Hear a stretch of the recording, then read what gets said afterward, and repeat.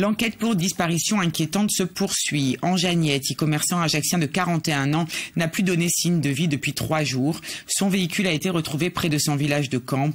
Aujourd'hui, la zone de recherche a été élargie. Une équipe cynophile de la gendarmerie est mobilisée, soutenue par la population. Jennifer Capaille, Marion Fiam et Yann Bénard.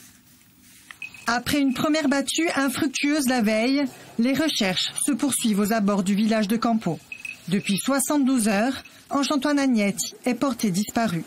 Sa voiture a été garée au bord de la route, à proximité de deux chemins très fréquentés par les pêcheurs et chasseurs de la région.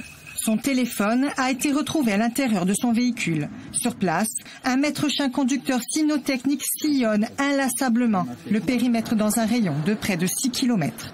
Les gendarmes sont à la recherche du moindre indice. Euh, à nouveau des recherches avec le chien continuent, euh, je dirais, en élargissement euh, sur le sud.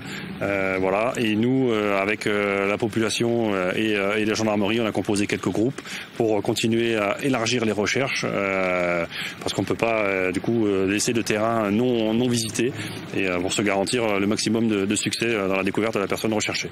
Aux côtés des forces de l'ordre, plus de 40 personnes se sont mobilisées pour mailler le terrain. On a organisé euh, une nouvelle battue. Euh, nous avons discuté hier soir jusqu'à quasiment minuit. Euh, les, recherches n'ont pas arrêté.